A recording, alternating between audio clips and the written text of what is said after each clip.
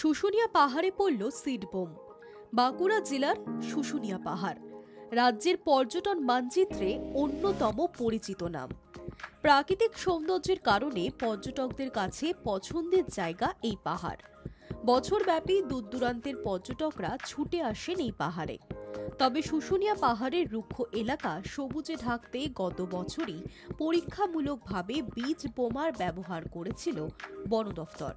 পরীক্ষামূলক সেই উদ্যোগ সফল হওয়ায় এবার আরও বেশি সংখ্যক বীজ বোমা তৈরি করে তা পাহাড়ের বিভিন্ন অংশে নিক্ষেপ করা শুরু করল বন দফতর। বন দপ্তর সূত্রে খবর, সব মিলিয়ে চলতি বছর এক হাজার বীজ বোমা ছোড়া হবে শুশুনিয়া পাহাড়ে। বাস্তুতন্ত্রের ক্ষেত্রে অত্যন্ত বড় ভূমিকা নেয় বট এবং অশ্বত্থ গাছ। এই দুই গাছেরই ধর্মীয় গুরুত্ব থাকায় কেউ সাধারণত এই গাছগুলি নষ্ট করে না। এই দুটি বিষয়কে মাথায় রেখে বীজ বোমা তৈরির ক্ষেত্রে ওই দুটি গাছের বীজকেই গুরুত্ব দেওয়া হয়েছে। জানিয়েছেন এশা বোস। আজকে আমরা আগের বছরের মতন শুশুনিয়া পাহাড়ে যে বীজ বোম ফেলেছিলাম সেইটার সাকসেস যেহেতু পেয়েছি তো আমরা এইবারে আবার লার্জ স্কেলে আবার সেই বীজ বোম ফেলছি এবং কিছু কিছু চারাও আমরা শুশুনিয়া পাহাড়ের যে খালি জায়গাগুলো আছে সেইখানে রোপণ করব। কারণ আমাদের বন দফতরের এখন বন মহোৎসব চলছে সেই উপলক্ষেই আমরা আজকের দিনটা বেছে নিয়েছি এই কর্মসূচি করার জন্য। এইবারে আমরা মোটামুটি হাজারটা মতন বানিয়েছি। হয়তো আরও বানাবো ভবিষ্যতে। মানে এই বর্ষাকালটায় আমরা টার্গেট করেছি। মোটামুটি রেগুলার বেসিসেই আমরা একটু এগুলো নিক্ষেপ করব এবং পরিচর্চাও পরিচর্যাও করব যেখানে যা গাছ চারা উঠবে বা কিছু, সেগুলোর পরিচর্যাও করব। এবারে এটা ব্যাপারটা একটু লার্জ স্কেলে করার ইচ্ছা আছে। একদম দেশি গাছ, দেশি যে বীজগুলো আছে বা যেগুলো পাথুরে জায়গাতে তাড়াতাড়ি বাড়বে বা পাথুরে মাটিতে শিকড়টা যে বীজগুলোর মানে যে গাছগুলোর শিকড়গুলো তাড়াতাড়ি ধরতে পারবে, যেমন বট, অশ্বত্থ, শিশু, ওই ধরনের গাছই আমরা বেশি এইবারে ব্যবহার করেছি। বিশেষত বট গাছটা এবং জোর গাছ যেটা এই দুটো গাছই আমরা বেশি ব্যবহার করেছি। এটা আপনারা জানেনই, বট অশ্বত্থ নিজেরাই মানে এক একটা গাছই এক একটা বাস্তুতন্ত্রের মতন আর কি কাজ করে। মানে ওই একটা গাছকে কেন্দ্র করেই প্রচুর জীব বৈচিত্র্য আমরা দেখতে পাই। সে একটা পোকামাকড়ি বলুন কি সাপ বলুন, পাখি বলুন।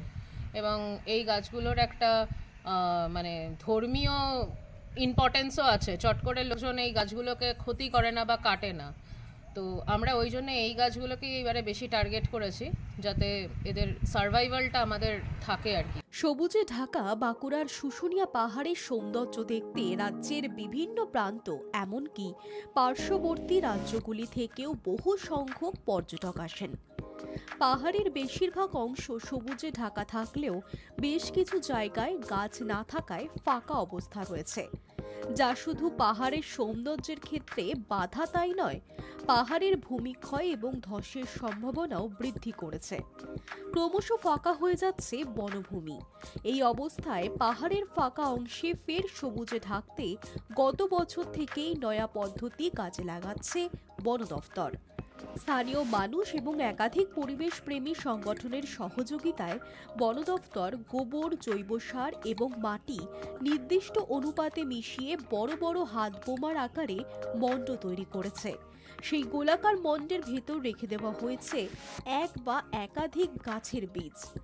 পাহাড়ে বর্ষা শুরু হতেই সেই বোমা ছুড়ে দেওয়া হচ্ছে রুক্ষ ও ফাঁকা এলাকাগুলিতে। এই বোমা বৃষ্টির জলে ভেঙে গিয়ে প্রথমে রুক্ষ এলাকার উপর তৈরি করছে গোবর ও জৈব সার সমৃদ্ধ মাটির একটি স্তর।